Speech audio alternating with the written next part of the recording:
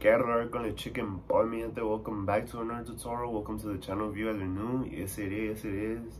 Uh, this tutorial is gonna be a little different. I'm gonna be uh, showing you guys like what I go through to like record uh bass and you guys you guys are like wow it sounds good but like to be honest I just use this this little iRig it only costs like 30 bucks and you just connect it to your phone and that's pretty much it the rest is history so i'm gonna i'm gonna show you guys like what apps i use and um like how i how i mix the bass so let's get it. Oh and uh go check out my merch. Yes sir yes sir. At slapthatshit.com uh can't thank you guys enough for for helping me get this far you know?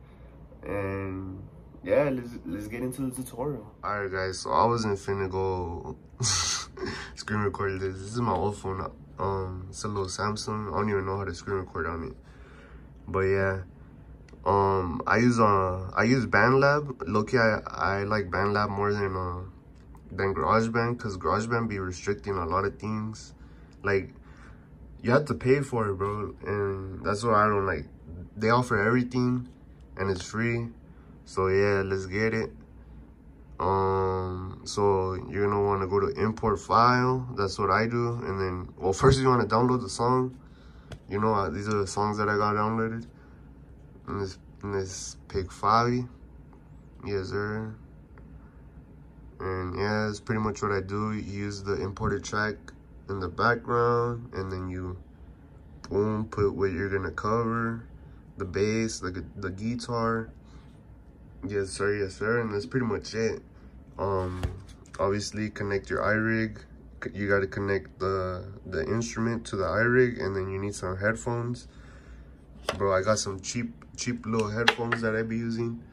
These are the ones that that came with the phone. Only only one side works, and this side about to this side about to stop working. I'm gonna have to get some some new earphones. But yeah balling on a budget, you feel me? So you you don't need money to make things sound good, bro. So, Alright, y'all, so I got this track open. Shout out compa Willan, shout out Clave A for this banger. Is there? So I'm gonna show you I'm gonna show y'all what I be doing, bro. So let me see. Let's hear it first. Let me click click on the effects. So I, look, here. I have a preset. Let me check Preset on here. But yeah, this is this is what I use. The graphic EQ. This is what pretty much yo you can see me on the screen. No. But um, what's it called? yeah, so the graphic EQ is what I use. This is pretty much what gets your like the tone so these are these are gonna be your lows these are your highs. It goes from high right here to low. And basically this is just the bass you know mid and then the treble. And that's how you get your tone. I, honestly i don't know what i'm doing but i just be playing with it. This is another equalizer. Uh, so it pretty much just gets your tone. This is just a compressor. And then what is this? Reverb so yeah i don't i don't really use that no more. I use this one. I use a, my own preset the 222 yes sir. At the you notes it sounds more cleaner. Um so yeah i still use the graphic eq it's just different set different. Yeah i still use the eq3 whatever that is.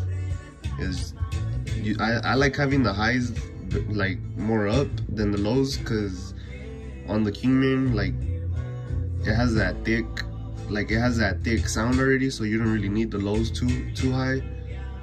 And this is just the noise gate so what the noise gate does is like um if you have like uh, I don't know explain it. If your gain is too high or something and it, it's gonna sound distorted you feel me? This takes away the like all the distortedness and all that. And this is just reverb. Let me go back. So let me show y'all like let me show you like what it like what everything does. So the graphic the graphic eq is like the most important like what'll make it this is your tone right here you feel me? Yo my bad. I had i had to end the video because i ran out of storage but but yeah hold on. Look i'm gonna just select the part where i'm slapping it. That way you guys could just you guys could just hear how the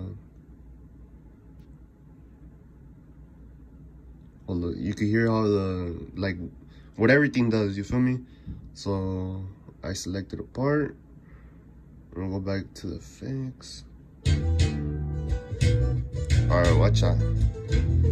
No moments. All right so look. Like I said, these are your highs. Watch the bass go down. All you hear is the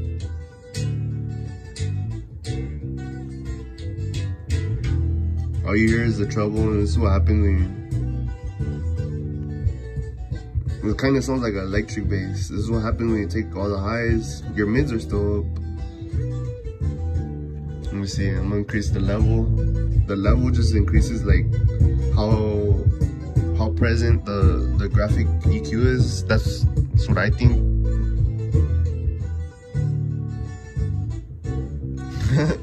but yeah, I just be playing with it to be honest. Oh shit.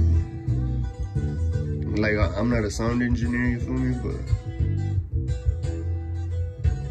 I mean, it sounds good to me. So yeah, honestly, like this is there's not really much to else to tell you guys. Like I just be playing with it. But yeah, keep my school folder. but yeah, that's pretty much it, guys. Alright guys, that was it for the tutorial. Thank you guys for watching. Uh, I hope it wasn't too confusing. Uh, I ain't gonna lie, my setup is pretty pretty ghetto, but shit, like I'm just trying to prove that you don't really need that much to to make shit sound good. You feel me? So so yeah, and with mixing, just play like play around with it. That's what I would do. Like when I when I first started mixing, my stuff didn't sound good.